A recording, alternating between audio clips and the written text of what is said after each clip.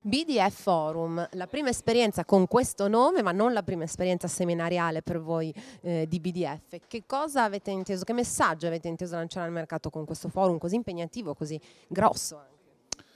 Ma di solito noi organizziamo ogni anno dei, dei meeting con delle aziende singole e quest'anno ho voluto cambiare un pochino il trend per diciamo, uh, accorpare quelle 5-6 aziende più uh, di livello che noi commercializziamo per far conoscere sia le novità sia dal punto di vista tecnico che normativo ai nostri clienti.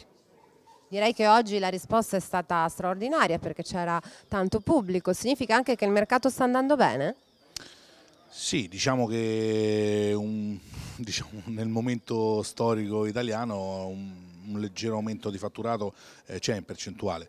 È chiaro che bisogna andare sempre secondo la, la, la missione e la politica dei BDF eh, eh, su prodotti eh, innovativi e più performanti e non eh, cadere nel, nelle solite ehm, diciamo, storie dei prezzi più bassi, chi ha il prezzo più basso. Questa è una cosa che noi non, non facciamo e non vogliamo fare. Insomma.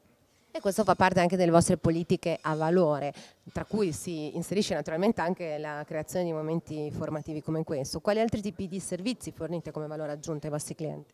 Ma noi diciamo che rispetto a, a qualche concorrente, perché non, non, credo che siamo gli unici, noi diamo un servizio eh, sia in fase di eh, sopralluogo, quindi progettazione, eh, preventivazione e poi eh, anche con l'auto. Quindi noi diamo un servizio con i nostri tecnici interni eh, che sono i nostri dipendenti e abbiamo eh, vari settori, chi si occupa di sicurezza, quindi di antifurti, chi si occupa di IP e quindi TVCC abbinato a alla videosorveglianza e, eh, e di domotica.